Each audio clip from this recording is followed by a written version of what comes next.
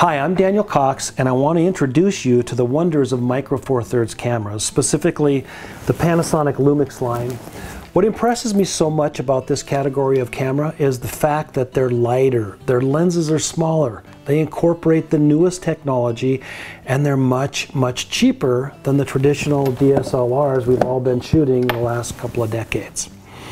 To achieve many of the benefits I just described, Panasonic Lumix engineers designed these cameras from the ground up, and in doing so chose to utilize a smaller sensor, which is what cameras use to record still photos and video.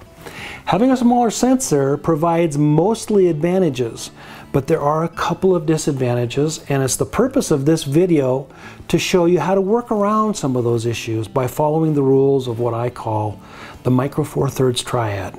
So what is the Micro Four Thirds Triad? As the name suggests, it consists of three main components that I feel are necessary for giving these smaller cameras the ability to compete with the full-frame traditional DSLRs from Nikon, Canon, and now Sony. Follow these three rules of the Micro Four Thirds Triad and your smaller cameras can compete with what has been the world's best. So what are those rules? Number one, the use of the most up-to-date camera possible such as the Lumix G9, the Lumix GH5, or even the Olympus OMD EM1 Mark II.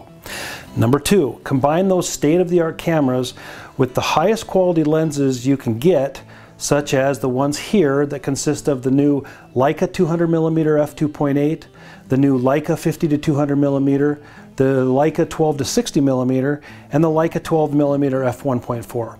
Other lenses on the list include the Olympus 40 to 150 2.8, the 300 f4, both world-class optics. The only downside is the fact that Olympus lenses won't support the Lumix Dual IS or DFD functionality.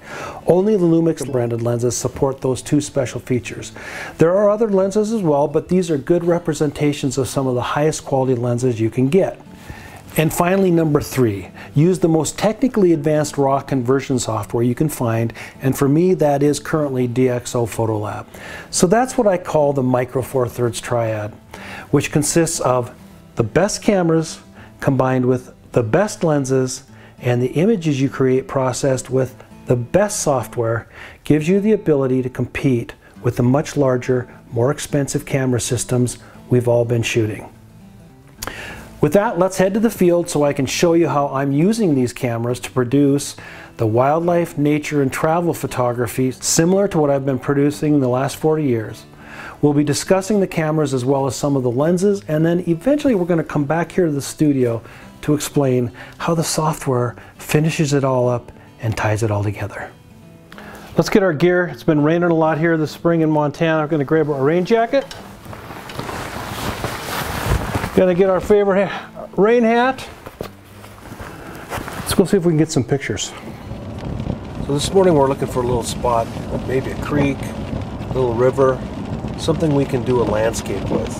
It's kind of a crappy morning. It's raining. Uh, just passed through some, went to the higher elevations and went through actually snow, which is really typical in Montana this time of year. We're going to take the G9 out and use it in some really kind of inclement weather. Again, this all refers to the first part of what I call the Micro Four Thirds Triad, and that is the most up-to-date and high-quality camera that you can get your hands on. In this particular situation today, that is the Panasonic Lumix G9. So I now have everything I need.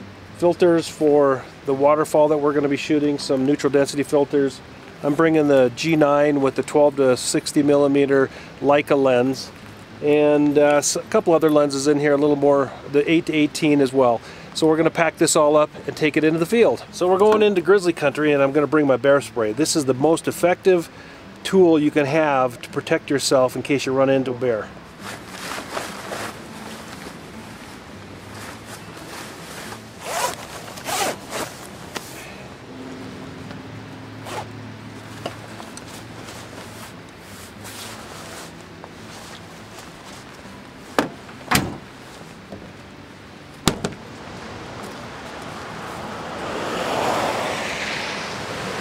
I think I found the waterfall.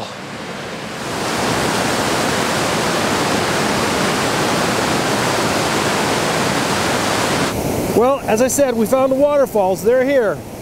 Now we're going to be pulling out the Lumix G9 and the Leica 12 to 60 millimeter zoom. So for this situation, I want to use as slow a shutter speed as I possibly can, or at least within reason. We're probably going to go down to around one second. I'm using program mode because I can easily switch between shutter speed and aperture. It's like having shutter priority and aperture priority are all rolled into one. I'm going to dial it down, and at f22 I'm only getting an eighth of a second, so that's where neutral density filters come in. I've got a variable neutral density filter here, which allows me to reduce the exposure by as many as eight stops. In this rainy weather, drops on the lens are a big deal. It can happen very easily, so you got to keep your lens cleaning cloth with you. So now the neutral density filter has reduced my exposure down to 1.6 seconds, which will give me a nice, beautiful, silky water effect. Nice and sharp, but at four seconds, we're down at f22. I don't want to shoot there. I want to shoot around 5, 6, or maybe f8. When you start shooting apertures clear down at the bottom range of your lens, which is f22, you start running into issues with diffraction. So I want to move that back up to f8, F56, and then we'll adjust the neutral density filter to give us about a quarter of a second, maybe half of a second. So I'm now at f5.6, and with the neutral density filter I get a, quarter of a second. And that's your silky waterfall technique. One of the main reasons that I came out to do this today is because I wanted to test the cameras in really inclement weather. It's been raining all morning. The camera's now been out for probably 15, 20 minutes. The GH5 that I'm shooting this on is soaking wet, actually wetter than the G9 because it's been out longer. But both of these cameras I've been shooting without any plastic covers, without any protection whatsoever. And that's really helpful for people who do stuff in the outdoors. Because as Dean Conger from National Geographic, a gentleman that I saw when I was 21 years old, when he took a look at my portfolio, he looked at me and he said, Daniel, keep one thing in mind. The sun doesn't always shine. And I've kept that and taken that to heart ever since. It was a great piece of advice. It's especially important when you're working with wildlife and nature.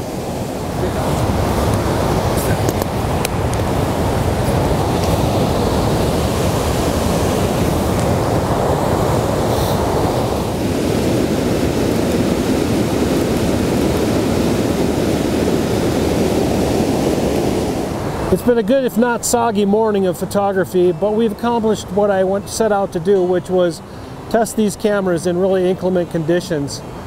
Both the GH5 that I've been shooting the video with and the G9 have held up beautifully, very wet, no camera covers of any sort. As far as I can tell, they're working perfectly, lenses are working perfectly, lots of water on both cameras, but they seem to have come through it with no issues whatsoever. So it was a test and I think it's come out really well and it shows that these cameras are really well sealed, durable, and give you the ability to work in all kinds of weather conditions.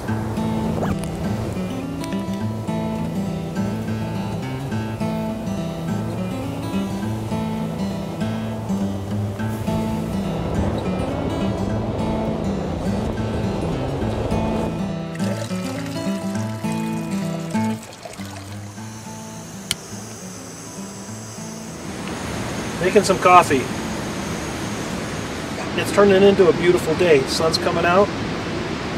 Drying out some of my camera gear. Some bread for a peanut butter and jelly sandwich. Hot cup of coffee. And it's going to be the finish up to a great morning.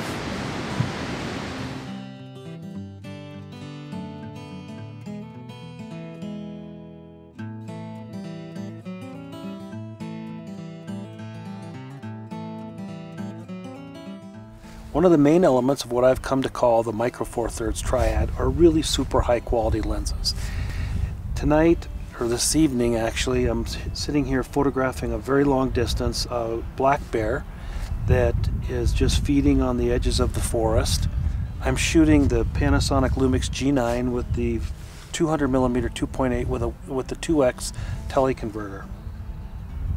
It's quite late, it's about 8 o'clock in the evening, but because it's overcast, and it's later, we have very little light. And that's where this 2.8 lens comes in handy. Now when we put the 2x teleconverter on it, it brings it down to 5.6.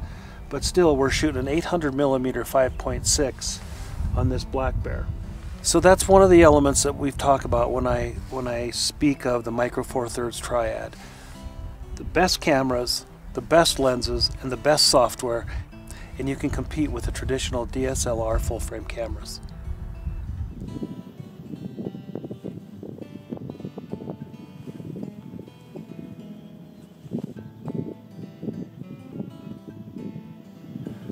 Just quietly grazing. Cubs are playing on a log. Just an evening out having dinner with the black bears.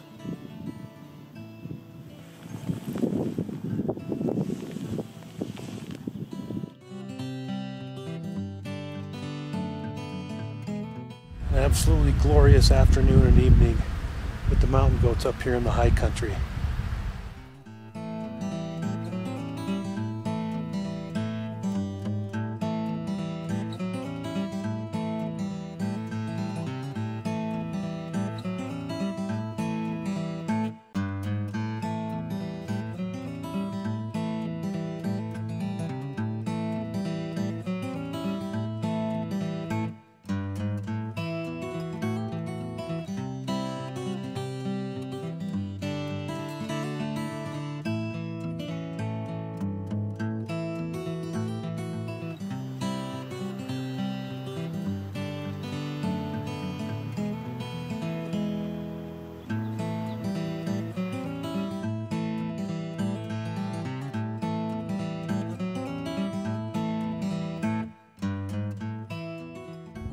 Just slightly windy up here, but that's where pikas like to hang out. They like to hang out right up on top of the wildest, most remote places here in the Rocky Mountains. So we're gonna go see if we can't find them. Well, I'm back in the field this morning. Sun's coming up. Birds are up. I've seen a couple pikas. And uh, we'll see how we do.